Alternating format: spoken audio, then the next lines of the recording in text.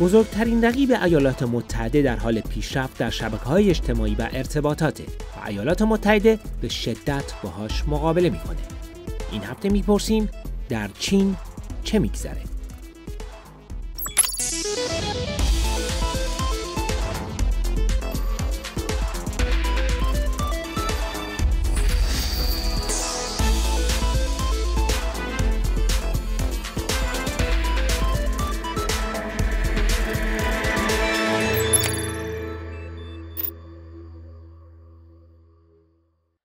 در سالهای اخیر شرکت های چینی جای پای خودشون رو در بازار غرب حسابی پیدا کردند. بیش از همه اسم تیک تاک و هواوی رو شنیدیم که جفتشون انتقادهای زیادی هم به همراه داشتند. شرکت هواوی حدود 20 سالی میشه که در بریتانیا فعاله و حتی اخیرا نزدیک بود که بخشی از شبکه 5G در این کشور رو هم در دست خودش بگیره. اما دو ماه پیش دولت مشارکت این شرکت رو ممنوع کرد.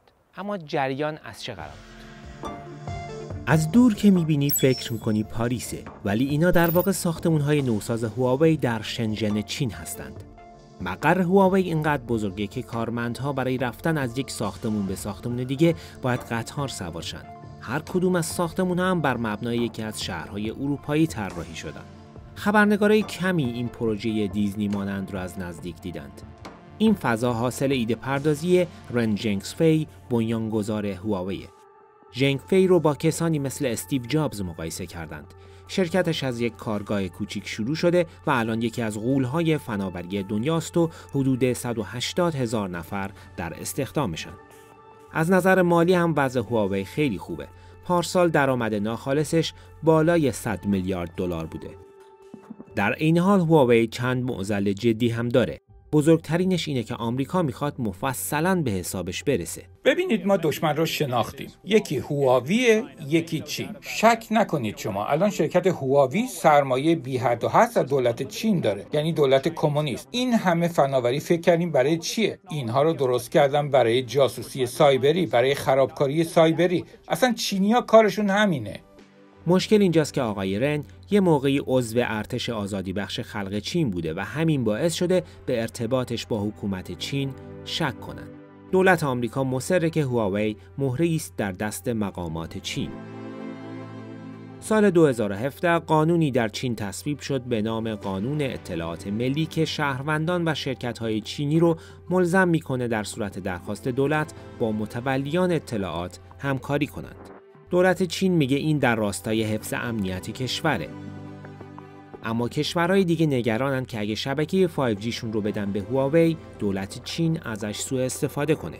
در آینده تمام زیرساخت های ما کل اقتصاد و حتی زندگیمون وابسته به کامپیوترهای خواهد بود که از طریق یک شبکه 5G به هم وصلن. اگه کسی ناگهان این شبکه رو از کار بندازه چی؟ باید در نظر داشته باشید که در جنگ های آینده ضرورتا ارتش های سنتی به اون شکلی که از جنگ جهانی دوم در ذهن داریم درگیر نخواهند بود. آینده جنگ به احتمال بسیار زیاد سایبری خواهد بود. یک کشور بدون شلی که حتی یک گلوله از پا در میاری. خیلی نگرانند که حکومت چین به هواوی دستور بده تا حفره های امنیتی در شبکه 5G ایجاد کنه. در این صورت اون کشور در برابر حمله سایبری سراسری آسیب پذیر خواهد بود که خب فاجعه است. ماه مه دولت آمریکا یک قانون کوتاه گذروند که تأثیر عمیقی بر دنیای فناوری گذاشت. با استفاده از اختیارات مندرج در قانون اصلاح نظارت بر صادرات مصوب سال 2018 نظارتی جدید بر بعضی اقلام تولید شده در خارج اعمال می شود. اقلامی که مشخص باشد نهایتا به یکی از موارد مذکور در فهرست موارد می رسند. به موجب این حکم نظارت جدید بر شرکت فناوری هواوی و شرکت های غیر آمریکایی وابسته به آن نیز اعمال می شود. در ظاهر متن بیخاصیتیه ولی معنیش اینه که هر شرکتی که از ابزار یا نرم افزار آمریکایی استفاده کنه که چیزی برای هواوی بسازه قانون ایالات متحده رو نقض کرده و میره در فهرست سیاه این کشور. به عنوان مثال تراشهایی که هواوی در محصولاتش استفاده می کرد توی شرکت هایی مثل TSMC تایوان تولید می شدند و TSMC برای طراحی و ساختن تراشه ها از نرم افزار آمریکایی هم استفاده می‌کنه. بنابراین طبق قانون جدید TSMC اگه بخواد برای هواوی تراشه بسازه نمی‌تونه با آمریکا کار کنه. در نتیجه شرکت های زیادی باید بین چین و ایالات متحده یکیشو انتخاب کنن. تولید تراشه شدیدن به ابزار فنونی وابسته است که مختص چند شرکت آمریکاییه. کاری که دولت آمریکا کرده اینه که عملا گفته دیگه حق نداریم برای شرکت های چینی از این ابزار و فنون استفاده کنیم. بنابراین اگه کسی بخواد با چینی ها کار کنه یا باید غیر قانونی باشه یا منبع جایگزین پیدا کنه. و اگه منبع جایگزین پیدا کنه برای ما خیلی بیش از الان مبهم میشه چون فهممون از اینها از دیدگاه امنیتی به مراتب ناقصتر خواهد بود. و این باعث میشه آدم به سمتی هل داده بشه که بگه در مورد امنیتش مطمئن نیستم بنابراین دیگه ازش استفاده نمی‌کنم و این مشکل فقط مشکل بریتانیا نیست آلمان و فرانسه و عملا هر کشوری که دنبال گسترش گنجایش 5G بوده رفته بود سراغ زیرساختهای هواوی که هم پیشرفته تره هم ارزون تر. پس حالا چی میشه؟ در کوتاه مدت اپراتورهای موبایل هم باید هزینه بیرون کشیدن هواوی از شبکه هاشون رو بپردازن و هم گزینه نخواهند داشت جز اینکه با نوکیا و اریکسون قرارداد ببندن. اینکه در بازاری به این بزرگی فقط دو بازیگر وجود داشته باشه اصلا موقعیت مطلوبی نیست. در نتیجه اپراتورها و دولت‌های کشورهای مختلف دوست دارند به شکلی اقلا به یک بازیگر یا ترجیحاً به چند بازیگر دیگه فرصت بدن که در این عرصه با نوکیا و اریکسون رقابت کنند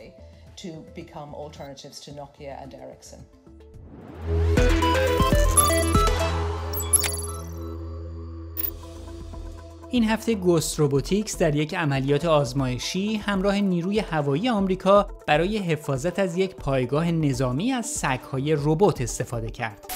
مایکروسافت از کوچکترین نسخه کنسول Xbox یعنی سری S رونمایی کرد که ماه نوامبر در کنار سری پرقدرت X وارد بازار میشه.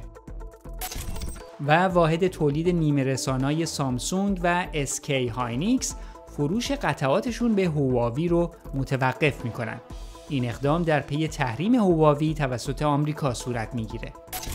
این هفته همینطور جنرال موتورز شرکت خودروسازی آمریکایی 11 درصد سهام شرکت خودروی الکتریک نیکولا رو خرید. GM قراره در تولید وانت هیبریدی الکتریک هیدروژن Badger مشارکت کنه. Badger قراره تا پایان سال 2022 به مرحله تولید برسه. اوبر از طرحش برای الکتریک کردن همه خودروهاش خبر داد.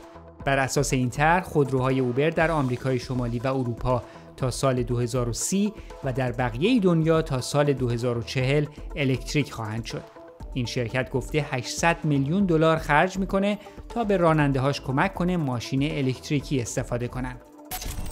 و در پایان این هفته نمایشگاه محصولات فناوری ایفا در برلین برگزار شد. امسال به جای 225 هزار بازدید کننده فقط 6 هزار نفر با فاصله گذاری اجتماعی از این نمایشگاه دیدن می کنند. جای تعجب هم نداره که کلی فناوری مرتبط با کرونا در این نمایشگاه به نمایش در اومده.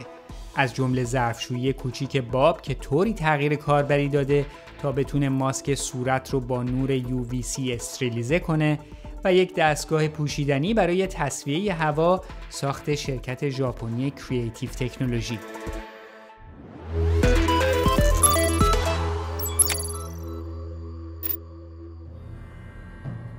حدود 5 میلیون چینی در آمریکا زندگی می کنند. حرفایی که رئیس جمهور ترامپ در مورد ممنوع کردن تیک تاک زده خیلی سر و صدا به پا کرده. ولی حملش به ویچت احتمالا تاثیر بزرگتر و عمیقتری بر روابط آمریکا و چین می‌گذاره.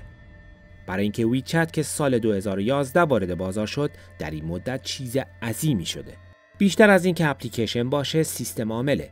از زبون کریس که از دانشجویان چینی مقیم لندنه بشنوید که ویچت چیه. تو ویچت آدرس بیمارستان و رستوران و اینجور چیزا هم هست. یا اینجا می‌تونی بلیت سینما بخری. این یکی مال رزرو رستورانه این یکی هم رزرو هتل. مثلا اگه بخوای PlayStation پیدا کنی میری اینجا تو بخش business. اینجا چیزای مختلف میفروشن. ویچت انقدر بزرگ شده و چنان در زندگی روزمره مردم تنیده شده که برای بیش از یک میلیارد کاربرش مطلقا ضروریه. شرکت تنسنت که صاحب ویچت نمیگه چه تعداد کاربر بیرون چین داره اما تخمین زده میشه این تعداد ده ها میلیون باشه ویچت و اپلیکیشن های چینی دیگه توجه مقامات مسئول آمریکایی رو جلب کردند. پرزیدنت ترامپ بیدلیل از اقدام علیه تیک تاک صحبت نکرده. اپلیکیشن هایی مثل تیک تاک و ویچت و امثال هم که شرکت مادرشون در چین مستقره تهدید جدی برای اطلاعات شخصی شهروندای آمریکا به شمار میان. و اما نظر الکس استاموس مدیر سابق امنیت یاهو و فیسبوک. اگر من شرکت های چینی که به نظرم جای نگرانی دارن رو فهرست کنم تیک تاک حتی توی دهتای اول هم نیست. برای اینکه تیک تاک به نظر من بیشتر یه جور نماد کل صنعت چینه. شرکت چینی که به نظر من جای نگرانی داره تنسنته به خاطر ویچت ویچت یکی از پرطرفدارترین های دنیاست. همه چینی های مهاجر از ویچت استفاده می‌کنن. کلی کسب و کار روی اون هست. ارتباط های خیلی حساسشون روی ویچته که می‌تونه باعث باجگیری بشه. در نتیجه اگه من باشم اول میرم سراغ اینجور اپلیکیشن ها نه اونی که پر فیلم رقصیدن نوجوان هاست. ویچت همیشه به خاطر سانسور کاربران در چین زیر نقد بوده. شرکت کانادایی سیتیزن لب که کار تحلیلی می‌کنه بررسی کرده که ویچت چگونه کاربراشو بیرون چین مدیریت می‌کنه. مشاهده ما نشون میده که موضوعات ممنوع مثل میدان تیانانمن یا هنگ کنگ یا فالونگونگ یا هر چیزی که به تبت و دالایلاما مربوط باشه همه اینها مدام سانسور میشه. پژوهشگران متوجه شدند که ویچت فقط محتوای سیاسی رو سانسور نمی‌کنه. محتوای مربوط به کووید 19 رو هم سانسور می‌کنه. Uh, ما موضوع کووید رو به طور خاص بررسی کردیم و دیدیم بحث های مربوط به همهگیری از همون ابتدای کار سانسور شده. این خیلی موضوع مهمیه برای اینکه پزشکانی بودن که پیش از اون که حتی این همهگیری اسم داشته باشه از خط مقدم داشتن هشدار می‌دادن ولی ارتباطاتشون سانسور می‌شد. تنسنت این موضوع رو تکذیب کرده و در جواب به کلیک گفتند تمام محتوای همرسان شده بین کاربران بین المللی ویچت خصوصی است. البته امنیت داده تنها دلیلی نیست که ترامپ بابتش تصمیم گرفته ویچت رو ممنوع کنه. موضوع بسیار سیاسی تر از اینه. صادقانه بخوایم بگیم نمیشه این واقعیت رو نادیده گرفت که این شرکت های فناوری کشیده شدن وسط یک نبرد ژئوپلیتیک بین دو ابرقدرت.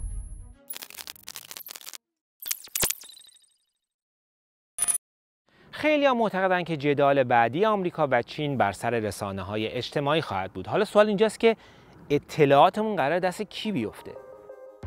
ماه مارس صاحبان چینی اپلیکیشن دوستیابی گرایندر سهمشون رو 600 میلیون دلار فروختند. در واقع مراجع رسمی آمریکا وادارشون کردند به فروش.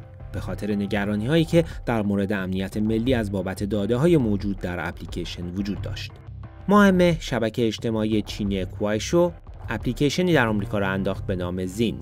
زین یکی از پرطرفدارترین اپلیکیشن ها بود ولی هم گوگل پلی و هم اپستور اپل به اتهام کپی برداری در ویدیوها حذفش کردند.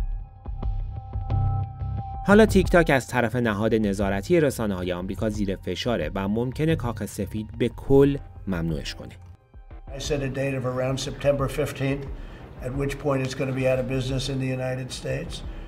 اما در چین رسانه های اجتماعی به شکل دیگری تحول پیدا کردند. در بخش بعدی چند تا از این شرکت های رسانه های اجتماعی رو بهتون معرفی می‌کنیم. در حوزه رسانه های اجتماعی چین یک دنیا با غرب فاصله داره. احتمالا به خاطر اینکه دولت چین از مدتها پیش جلوی غولهای آمریکایی مثل گوگل و فیسبوک رو گرفته. این یکی از علتهایی که چین امروز یک زیست بوم آنلاین کاملا متمایز با دیگران داره. علی بابا حدوداً مثل ایبیه ویبو شبیه توییتره و ویچت دست کم اول که راه افتاد شبیه واتساپ و پیام رسان فیسبوک بود. بنابراین جای تعجب نداره که اون موقع چین معروف شده بود به تقلیدکار چین با یک میلیارد و 300 میلیون نفر جمعیت جا برای طرحهای اجتماعی زیاد داره و رقابت خیلی فشرده است. کوایشو یکی از شرکت هایی که اخیرا برای خودش موقعیتی دست و پا کرده.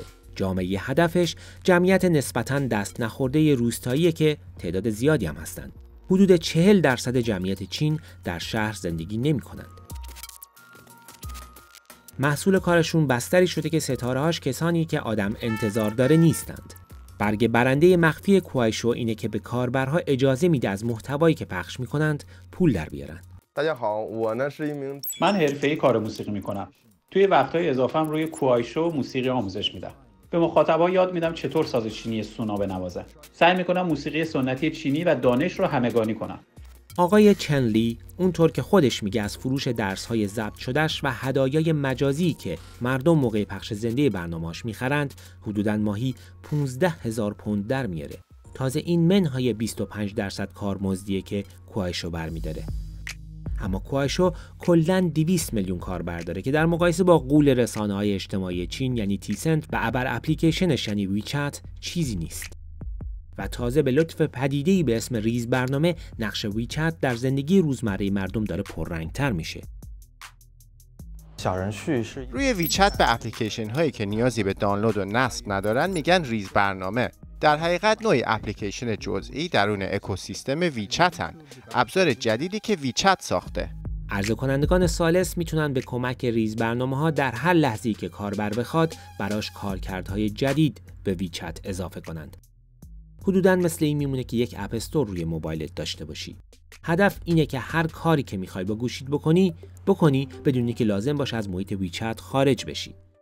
ویچت بخش بزرگی از اطلاعات شخصی کاربرها رو می‌گیره اخیرا حتی چهره هم بهش اضافه شده سوال اینه که آیا این راحتی به از بین رفتن حریم شخصی میارزه سال 2016 اف بین الملل به شرکت مادر ویچت یعنی تنسنت برای روی کردش به حریم شخصی کاربرها از صد صفر داد.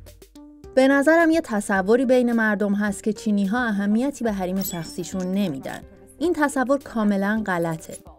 دولت چین در چند سال گذشته قوانین امنیت سایبری تصویب کرده و سعی داره به مصرف کننده در مورد خطرات از دست رفتن یا درز اطلاعات شخصیش آموزش بده. در مرامنامه حریم شخصی ویچت ذکر شده که اگه دولت چین از مجاری قانونی درخواست بده این شرکت اغلب فعالیت های شما در اپلیکیشن رو در اختیارشون می‌گذاره از جمله چیزهایی که نوشتید و موقعیت جغرافیاییتون تردیدی نیست که اپلیکیشن های اجتماعی در چین وارد مرحله جدیدی شدند. اگه نگیم از رقبای غربی پیشی گرفتند دست کم در جهات تازی دارن پیش میرند. پرسش اساسی اینه که آیا اپلیکیشن های چینی دیگه می‌تونن مثل تیک تاک به رغم دقدقه های حریم شخصی و سانسور جهانی بشن یا نه؟ یا شاید این بار نوبت شرکت های فناوری غربی باشه که نقش تقلید کار رو بازی می‌کنند.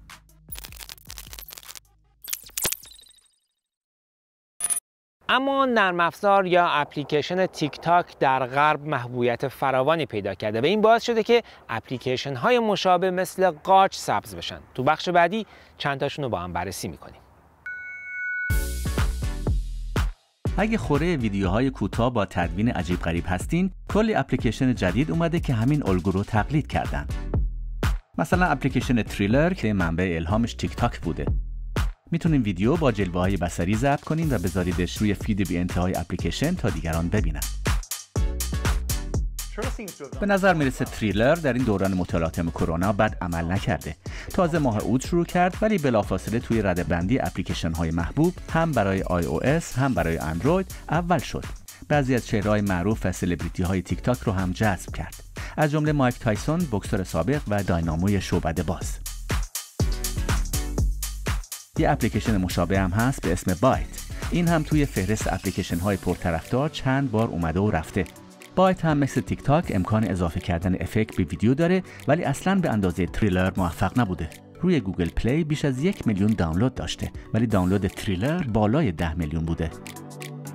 اما جدیترین رقیب تیک تاک احتمالا اینستاگرام ریلز باشه که تازه راه افتاده و خیلی از ویژگی های اصلی تیک تاک رو داره. از جمله فید بی انتهای ویدیوهای کوتاه. همین چند هفته پیش بود که مارک زاکربرگ به هیئت تحقیق کنگره در مورد این اتهام که غولهای فناوری از قدرتشون برای خونسا کردن رقبا استفاده می‌کنن توضیح داد. به نظرتون نوشتن از روی دست تیک تاک دقیقا مصداق این کار نیست؟ همه جا نوآوری هست و همه بالاخره از چیزهایی که می‌بینن الهام می‌گیرن. الان کسی روی محصول اجتماعی روی موبایل فید ببینه تعجب نمی‌کنه. این قبل از اینکه فیسبوک همه گیرش کنه نبود. یا سال 2016 ما استوری رو به اینستاگرام اضافه کردیم. کار اسنپ که ابداعش کرد تحسین می‌کنیم ولی از اون موقع کلی متحول شده. یعنی الان اینستاگرام چی به این محصول اضافه کرده که با تیک تاک فرق می‌کنه؟ به نظرم قابلیت کشف شدن فقط در ریلز هست. قبلا اینستاگرام اینجوری بود که اگر مخاطب یا طرفدار زیادی داشتی راحت تر می‌تونستی بزرگ شی. ولی این محصول جدید مشخصا برای این ساخته شده که آدم های خلاق مخاطب خودشون رو پیدا کنند. البته انصافا یکی از ویژگی های تیک تاک که باعث میشه خیلی از آدم های خلاق بیان سراغش همینه که هیچ وقت معلوم نیست کدوم ویدیو وایرال میشه یا کی یهو معروف میشه. بنابراین این ویژگی خاص اینستاگرام ریلز نیست. به نظرم بیشتر اینجوریه که شرکت های دیگه دیدن تیک تاک موفق شده و می‌خوان اونها هم از فرمولش استفاده کنن.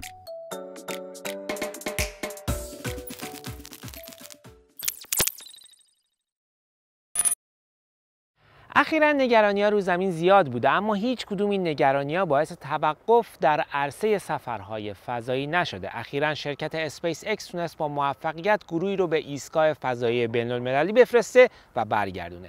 شرکت ویرجین گلکتیک هم که در حوزه گردشگری فضایی فعاله تونست با شرکت روز رویس که در حوزه تولید موتور فعاله به توافقاتی برسه برای تولید یک جت مافوق صوت. جتی که می‌تونه حداکثر سه برابر سرعت صوت بره یعنی فاصله بین لندن تا سیدنی رو در پنج ساعت طی کنه. اما به نظر می‌رسه که شرکت ویرجین گالکتیک نگاهش به فضا بیشتره. گزارش مارک چزلک رو ببینید.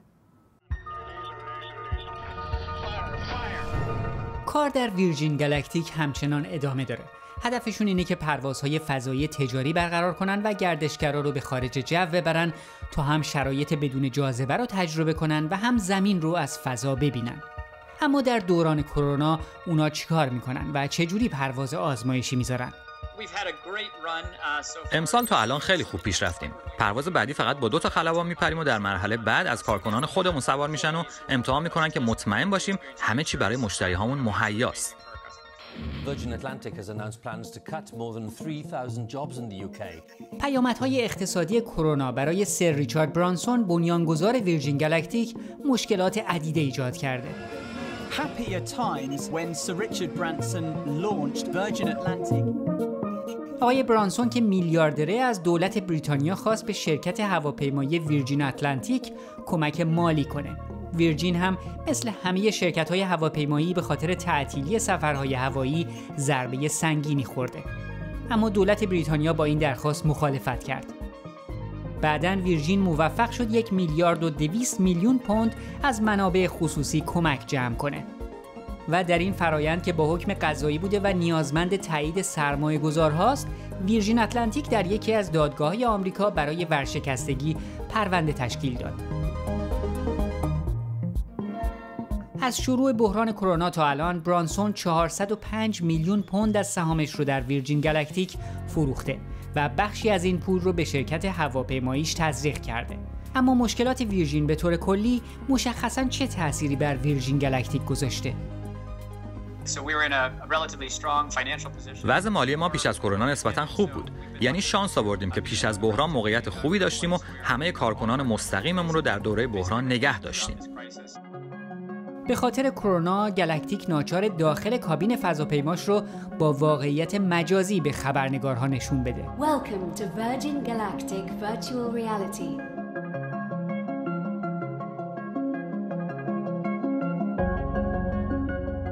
واقعیت مجازیشون روی سربند اوکولوس کوئست اجرا میشه و پیشرفت پروژه رو نشون میده. ضمن اینکه کاربر می‌تونه باهاش فضانوردها و خلبانهای آزمایشی گلکتیک رو ببینه My name is Kelly Latimer and I'm a Virgin Galactic pilot. و ایده مجازی از یه سفر فضایی به دست بیاره. جرمی براون مسئول طراحی کابین سفینه و فضای داخلی ترمینال فضایی اسپیس پورت آمریکاست. خودش در نقش راهنما ویژگی های کابین رو توی فضای واقعیت مجازی بهمون نشون داد. And you're right behind us. Okay. اما تجربه اصلی اینه که بری اون بالا و حسن واقعیت مجازی اینه که خیلی راحت میشه این کار رو باهاش کرد. ما اینجا 17 پنجره داریم و یه نمای 360 درجه عرضه می‌کنیم. ما با 16 دوربین تصاویر رو می‌گیریم. ما نه فقط اندازه لباستون رو می‌دونیم که کاملا چسب تنتون خواهد بود بلکه صندلی هاتون رو هم می‌دونیم. این منظره که بخوای ببینی باید 250 هزار دلار بدی. کره زمین از یک مدار پایین. حتی توی ویار هم نفس آدم بند میاد. تازه توی واقعیت مجازی می‌تونی سرت رو از پنجره سفینه ببری بیرون که در عالم واقع نمیشه.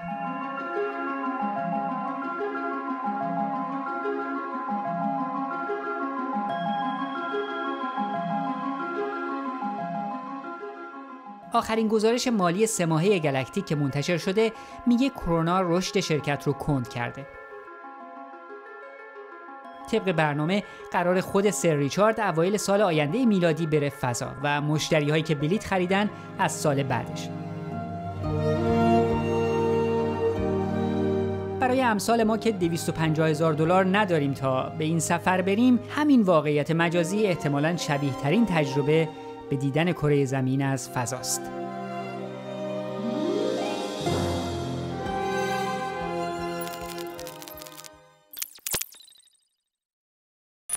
خب به پایان برنامه هفته کلیک رسیدیم. تکرار این برنامه رو در وبسایت ما ببینید. به نشونی bbcpersian.com/کلیک از طریق یوتیوب BBC فارسی تماشاش کنید. برنامه دیگه ما اونجا در یک فهرستی به نام کلیک در دسترس هستند.